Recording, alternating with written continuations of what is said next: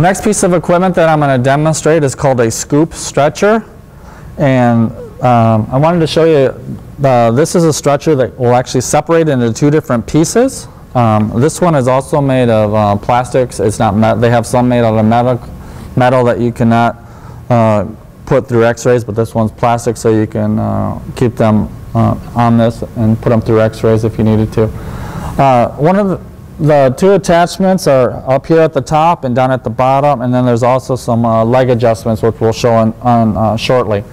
Um, but with each of these um, attachments, there's a little uh, push pin um, and hook in the middle.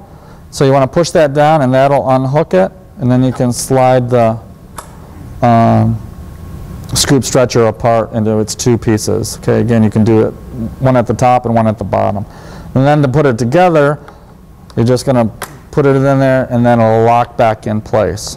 Okay, so again, you push down to disconnect, push it together to secure it. Okay, so next we're going to demonstrate how to use the scoop stretcher on the victim. There you go.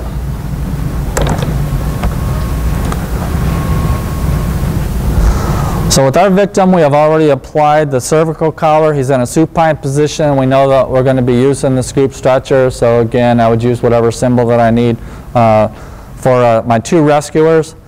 Bring the scoop stretcher. And again, I would maintain my uh, inline stabilization just like before, um, supporting the, the sides of the heads. And um, with this one, they're going to disconnect on the feet and they're going to disconnect the head attachment, the metal piece, again by pushing the button.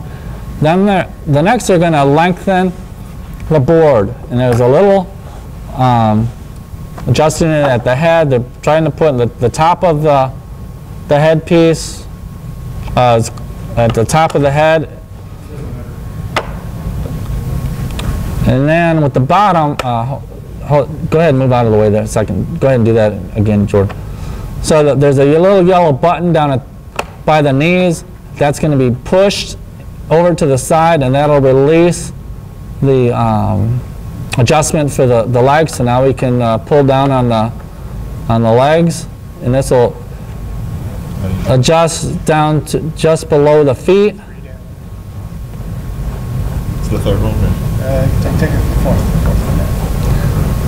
And there's, uh, this can be adjusted into increments of about four, four inches uh, for, for each lock.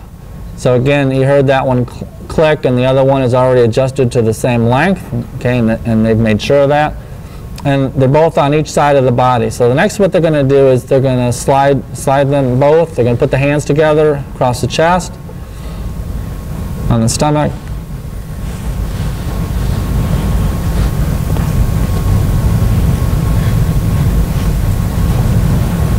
Okay, and I'm going to move this to the, to the person as closely as possible. And again, sometimes you have to be a little bit careful because when it, this does lock, it can, or comes together, it can pinch the victim a little bit. But again, that's a little bit better than having a cervical or a spine injury. And again, the nice thing about using the scoop stretcher is that we don't have to do the log roll like we did with the, um, the other spine boards. And again, we're just moving this as closely as possible to lock it.